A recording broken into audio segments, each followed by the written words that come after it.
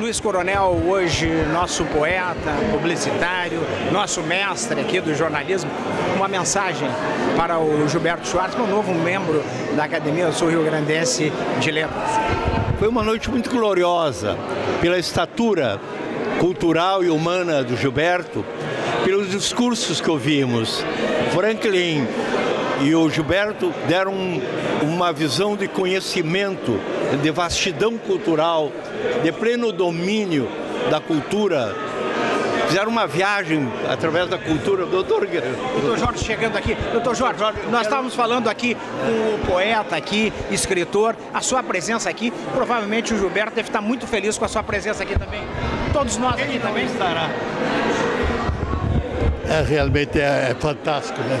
Nós podemos ter um orgulho enorme na nossa academia e hoje a participação de Gilberto Schwartzman, é, eu acho que foi um reconhecimento muito merecido e a dimensão do Gilberto em termos globais de valorização da cultura no, no nosso estado é um trabalho fantástico, né? Eu, eu diria que é um privilégio para a academia e todos de poder reconhecer Gilberto.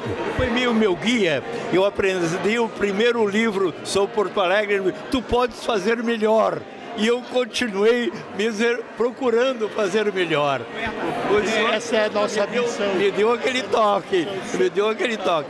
Eu vou entregar na sua casa os cinco volumes da Comédia Gaúcha, que o primeiro volume foi patrocinado pelo poeta, senhor. Poeta, poeta Luiz Coronel, nós estamos aqui também com o Jorge Gerdau, um momento é, de muita luz. Que, que belos discursos, doutor Gerdau. Emblemático, emblemático. emblemático. De uma dimensão, né?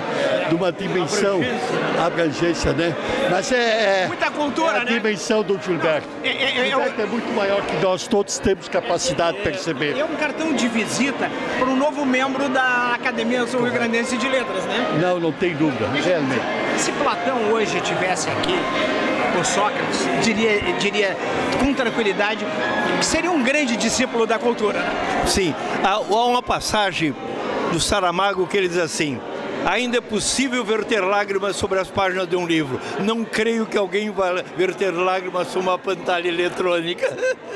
Obrigado, obrigado para todos.